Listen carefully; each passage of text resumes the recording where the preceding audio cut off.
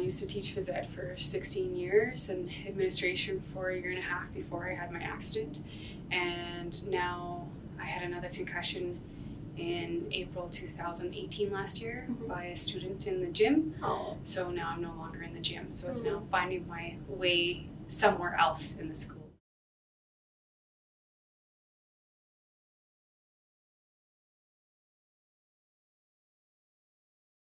Had a mountain biking accident in uh, 2008. Um, fell about eight feet into a coulee. I was training for 24 hours of adrenaline out in Canmore Mhm. and uh, sat up. Um, and I felt like my nose was bleeding and immediately dizzy. And uh, turned out it was uh, severe TBI and an undetected uh, CSF leak for Oh, wow. 15 months and had a baby in between.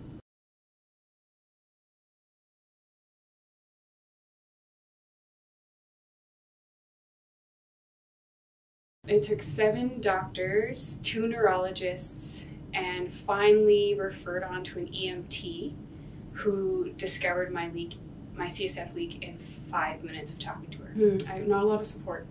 Mhm. Not a lot of support. Um, I got you're dizzy because you're preggers. Um, after I fell, I was two weeks pregnant, Mhm. um, so I didn't get a lot of support that way from the medical community. And then after was along the lines of you have post concussion. Mm. It is what it is.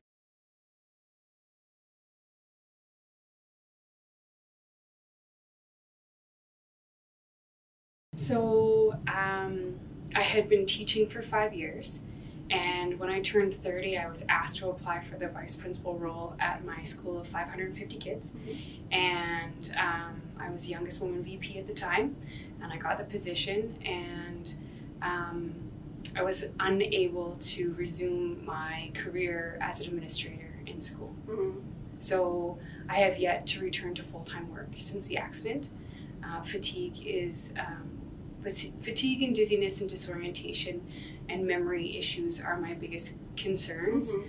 And uh, with not having the energy level, I can never return to full time work.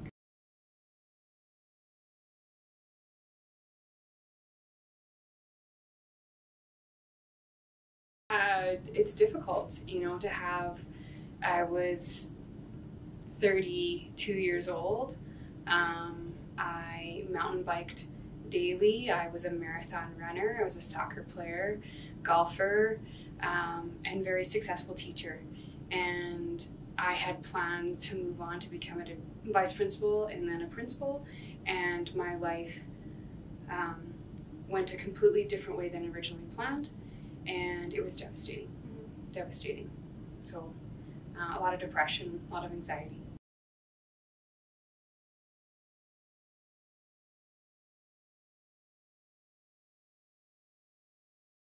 In March 2017, I was in the middle, I was biking downstairs in my basement um, on a trainer, and I got off my bike, and immediately I felt really dizzy.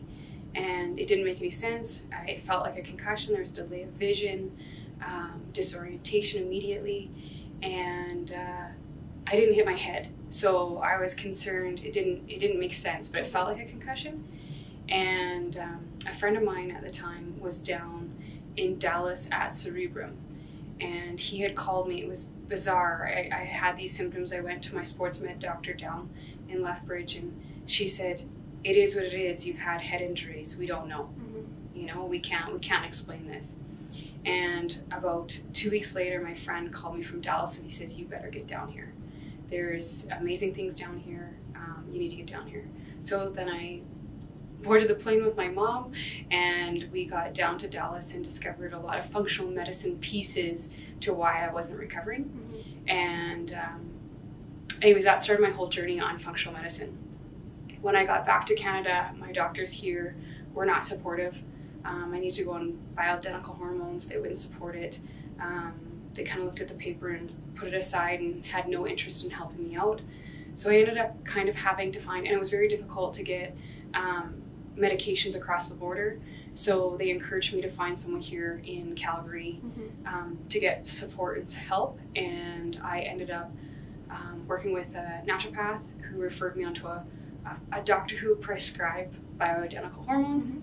and things were really good with the hormones for um, probably two months, and then everything fell apart. I felt like my body just hit rock bottom, and tons of symptoms. It got worse um, than it was before. Lots of pain, digestion issues, uh, memory got worse. I pulled myself off the hormones, and um, long story short, I got myself into Lynn Murfin, Dr. Lynn Murfin, and working with Dr. Lynn Murfin, she referred me on to Corey Mhm. with Neurvana.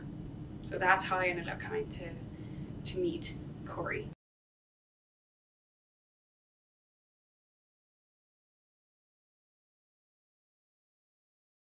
One, I didn't see results right away from the neurofeedback. So it, I can't say it was a neurofeedback. I saw results right away. I bought into it. Um, it was the fact that in conversations with Corey, in conversations with Nicole, conversations with Liz, Mhm. it was like, this is what you're going to go through. It is going to get worse before it gets better, but it will do this to you. Yeah. Corey shared some personal stories with me. Mhm. Nicole shared some personal stories with me saying, this is what happened to me, but this is how I turned out in the end. And it just gave me the hope that there was going to be a change. And I stuck with it. And like I said, it got worse before it got better. And then all of a sudden, like Nicole had promised me, she said, by about 15 to 20 sessions, you're Mhm. going to see a difference. And sure enough, it was about session 18, 19 Yeah. that my life started to change.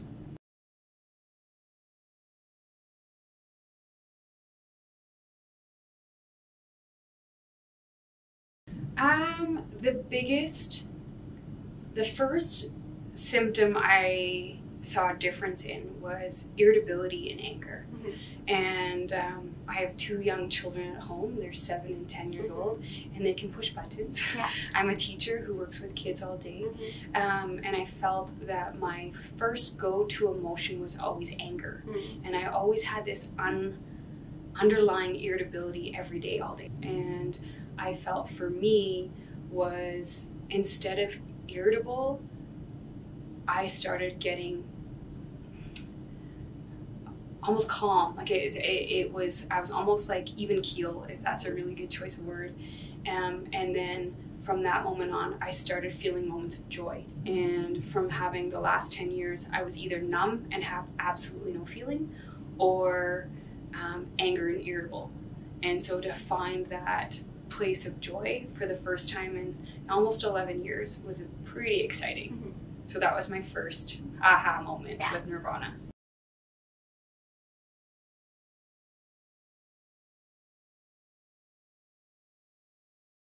Yeah, yeah. I was thinking about this the other day. Both my kids just turned um, seven and ten in March, and last year during my daughter's big birthday of turning six, I remember thinking, when is this going to be over? Instead of like reveling in the moment and enjoying it. And this year, when she turned seven, I enjoyed every minute of being there, and that for me was a a success.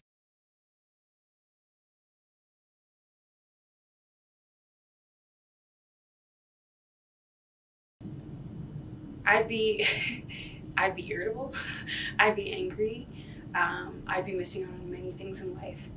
Um, you know, knowing the science behind neurofeedback and understanding what it's doing to my nervous system is that I'd miss out on getting out of that fight or flight state, what I had been in for the last 10 years, um, and missing out on being present in my life.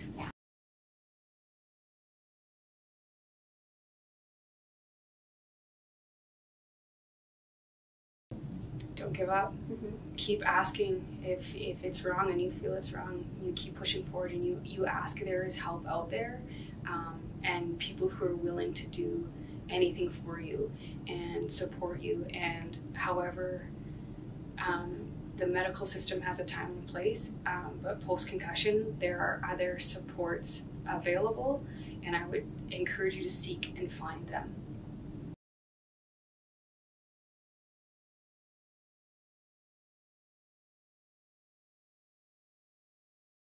worth it. Yeah, it's worth it. I'm excited. Um, for the first time in a long time, I'm excited to move forward and enjoy the rest of my life.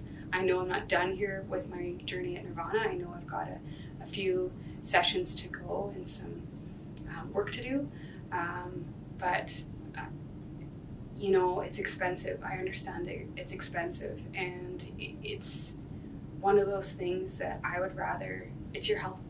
It's your health and, and it's worth it. And, and I would pay double the amount. Don't tell Corey that. you know, I would. It's it's worth the money. It's worth the time and the energy to put into Neurvana Health and neurofeedback. Um, I promise you, I am getting the results. Um, but pursue it, and um, again, for me, it's worth it.